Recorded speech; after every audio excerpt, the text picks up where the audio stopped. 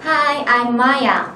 And hi, I'm Natsumi. This week's phrase is I always talk to Jim in private to avoid making him embarrassed.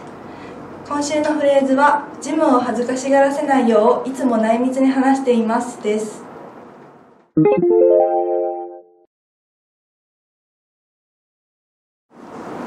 in private は内緒で誰もいないところでという意味です。対義語は in public 公然と公の場でという表現ができます。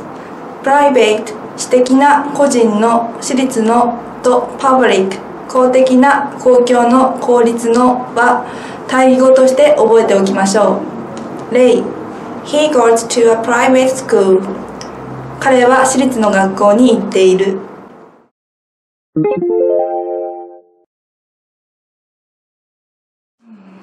Jim is a very emotional guy.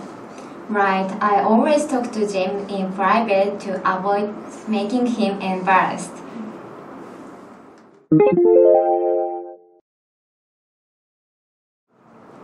Jim is a very emotional guy. Right. I always talk to Jim in private to avoid making him embarrassed.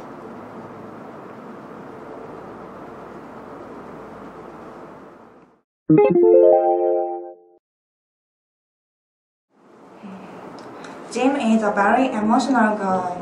Right, I always talk to Jim in private to avoid making him upset. See you!